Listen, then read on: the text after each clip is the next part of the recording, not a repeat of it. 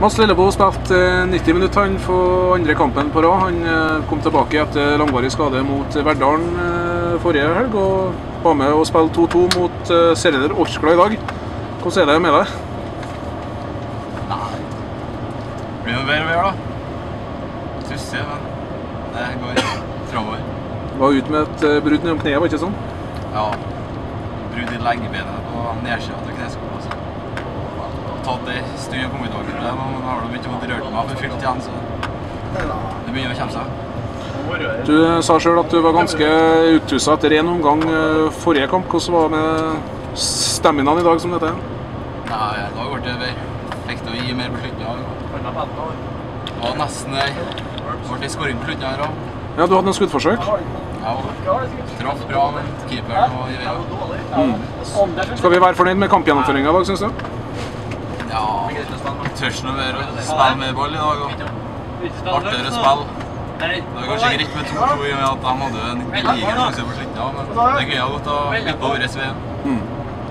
Vi har hatt eh, tre tøffe bortekamper mot eh, Orkla tidligere. og Kiel Emne har gitt oss eh, fem poeng. Skal vi si oss fornøyd med det?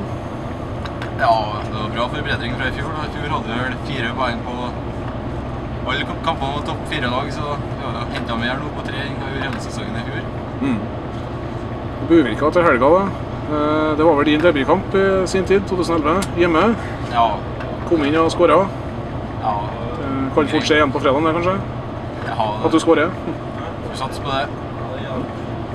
Sesongen til nå, hva er det som har eh, gjort at vi har eh, 14 poeng? Nei, det har vært mye skader og rokeringer og Det er jo ikke bare skyld på det, det har vært dårlig spill òg. Det er vel kanskje en del til skylda at vi ikke har fått spilt mye i lag. Jeg har jo nesten ikke vært med på treninga, så jeg er jo helt ny på det. Det henta inn en tre-fire spillere som ikke har vært med noe mye. og De mest etablerte har jo vært slitt litt av også. Det gjenspeiler jo litt spillsituasjonen. Han måtte sitte på med far sin hjemme, han, eh, Tom Rune Hønås, men eh, skal vi si noe om hans innsats i dag?